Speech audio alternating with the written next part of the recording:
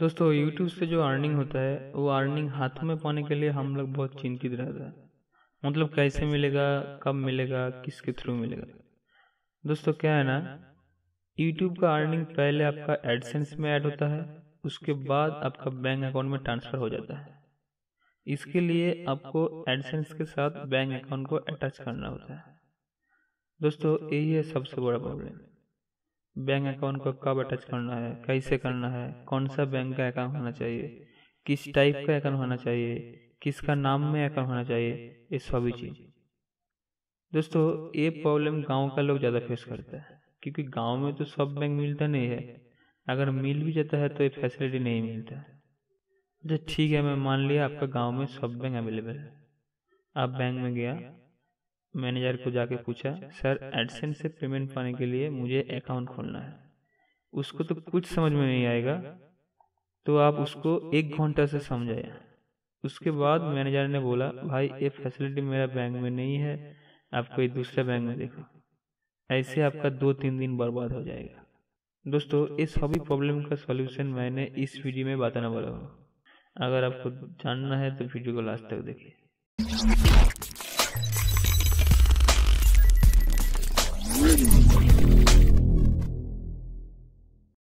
दोस्तों, जब आपका एडसेंस अकाउंट में टेन डॉलर और टेन डॉलर से ज़्यादा बैलेंस रहेगा तब आप बैंक अकाउंट को ऐड कर पाओगे।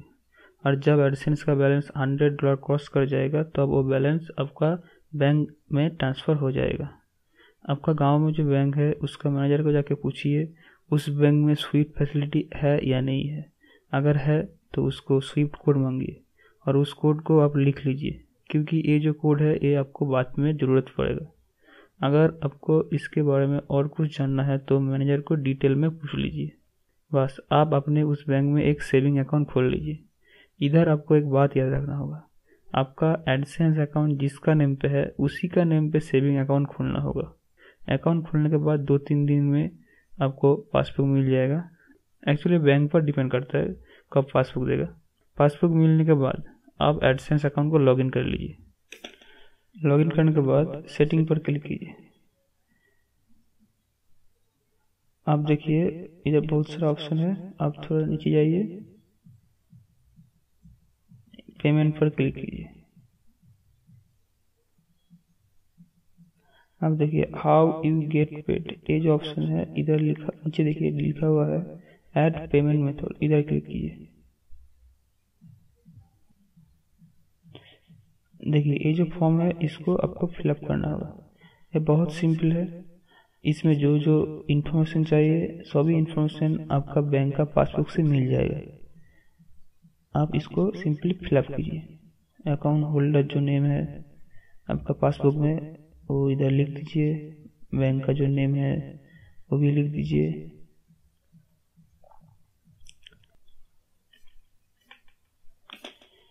आप इधर देखिए, जो स्विफ्ट कोड है, आप बैंक से जो स्विफ्ट कोड लिया था, उस, वो स्विफ्ट कोड को इधर आपको टाइप करना होगा।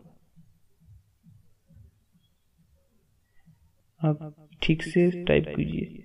एक भी इंफॉर्मेशन गलत नहीं होना चाहिए। फिलअप करने के बाद आप फिर से एक बार चेक कर लीजिए। अकाउंट नंबर जो जो है, सबको चेक कर लीजिए।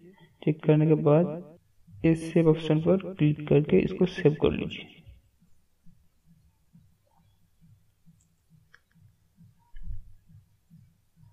देखिए, इधर आपको ऑप्शन सेव हो गया।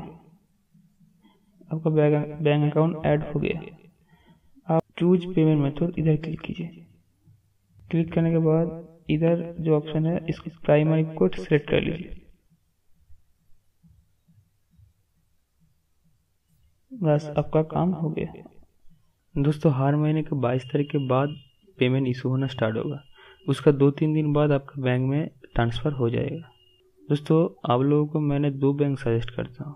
पहला है एक्सिस बैंक दूसरा है आईसीआईसीआई बैंक आप इस दोनों में से किसी एक में अकाउंट करने की कोशिश कीजिए, क्योंकि ये जो बैंक है, ये बहुत जल्दी इंटरनेशनल मनी के ट्रांसफ़र करता है। दोस्तों बहुत बहुत शुक्रिया देखने के लिए।